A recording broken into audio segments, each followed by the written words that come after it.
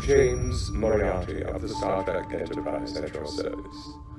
How are you, my friends? A pleasure to speak to you. I've been in that little cube for nearly 30 years, and I'm getting gray and rather bored. I don't know how they programmed age into the factor.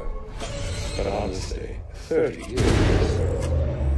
It's time they did something about it. Greetings, old friend. Thank you.